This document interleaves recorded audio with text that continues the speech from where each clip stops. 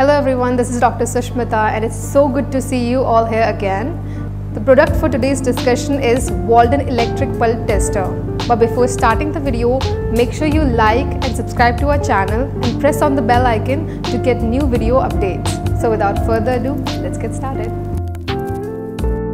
Waldent Electric Pulp Tester is a device used to examine the vitality of the dental pulp using the electric stimulation.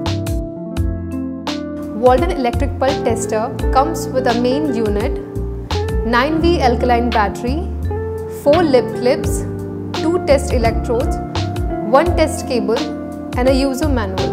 The test electrodes and the lip clips are autoclavable as they are made of stainless steel to avoid infection. On the top there is a hole for attaching the test electrode.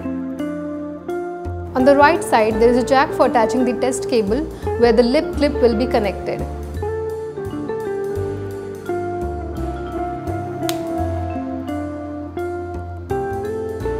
Power and mode button is present on the left side and the test results are visually displayed on the screen. It has three modes, high, medium and low. Explain the test procedure to the patient to reduce patient's anxiety as it can result in giving false reading. Isolate and completely dry the tooth or the area where the test need to be performed. Then check the proper functioning of Waldent electric pulp tester before using.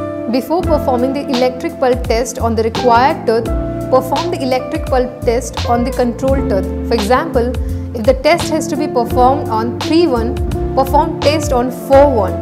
And if the test has to be performed on 3-6, first perform the test on 4-6. That is, the same tooth on the same arch but on the opposite quadrant will be the control tooth.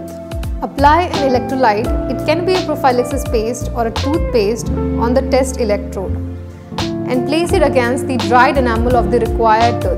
The placement of test electrode for the incisor teeth is on the incisal third, for the premolar it's on the buccal cusp and for the molars it's on the middle third of the mesiobuccal cusp.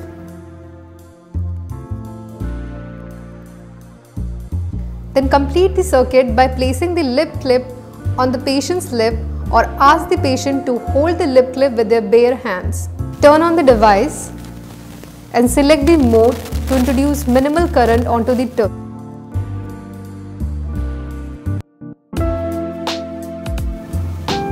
Ask the patient to tell when they start feeling the toothache or tingling sensation by raising their hand and stop immediately to record the reading displayed on the screen as this figure is tooth stimulation current reaction number. To the reading. The value between 0 to 40 means the tooth nerve is vital. The value between 40 to 80 means part of tooth nerve is non-vital. And when the numeric value has reached 80 but the tooth has no reaction, then the tooth nerve is completely dead. So that's all we have for today. Thanks for watching.